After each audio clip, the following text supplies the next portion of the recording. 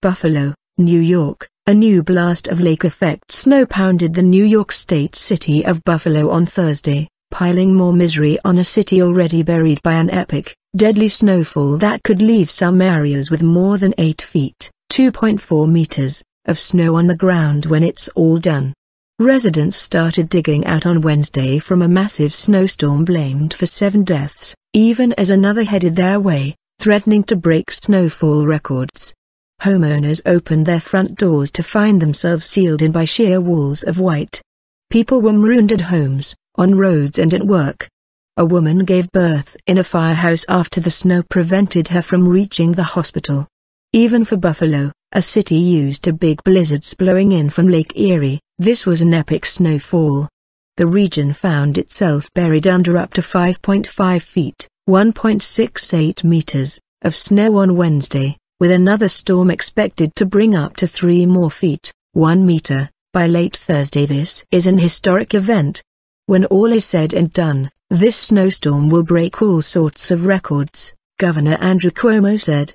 Related crippling storm drops 5 feet of snow, burying some towns in western New York at least 8 dead in historic U.S. snowstorm at least 7 dead in massive U.S. snowstorm Mr. Cuomo warned that a weekend warm-up could lead to significant flooding when the thick blanket of snow melts. Forecasters say rain is possible this weekend. The storm trapped more than 100 vehicles along a 132-mile, 212-kilometer, stretch of the New York State Thruway, the state's main highway that remained closed on Wednesday. Trapped on a team bus for nearly 30 hours, the Niagara University women's basketball team melted snow for water, posed with long faces for pictures that were posted online and tried to keep each other's spirits up. Bethany Hodgenacki went into labor at the height of the storm and ended up giving birth in a Buffalo fire station after she and her husband couldn't get to the hospital. Baby Lucy weighed in at 6 pounds, 2 ounces, 3.3 kilograms. Mother and child were later taken to the hospital in an ambulance.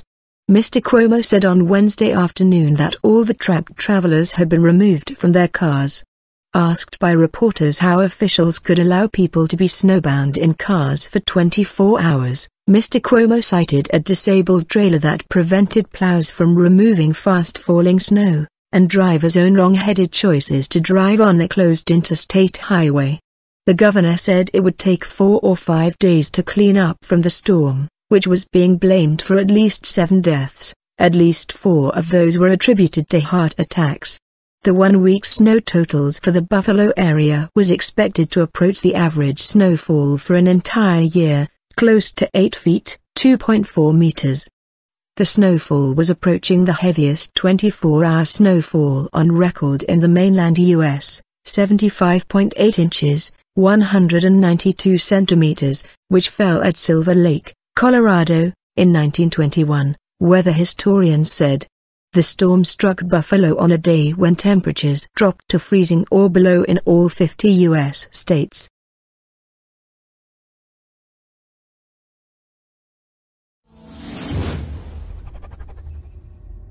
Buffalo, New York, a new blast of lake-effect snow pounded the New York State city of Buffalo on Thursday, piling more misery on a city already buried by an epic, deadly snowfall that could leave some areas with more than 8 feet, 2.4 meters, of snow on the ground when it's all done. Residents started digging out on Wednesday from a massive snowstorm blamed for seven deaths, even as another headed their way, threatening to break snowfall records. Homeowners opened their front doors to find themselves sealed in by sheer walls of white. People were marooned at homes, on roads and at work. A woman gave birth in a firehouse after the snow prevented her from reaching the hospital. Even for Buffalo, a city used to big blizzards blowing in from Lake Erie, this was an epic snowfall. The region found itself buried under up to 5.5 feet, 1.68 meters, of snow on Wednesday, with another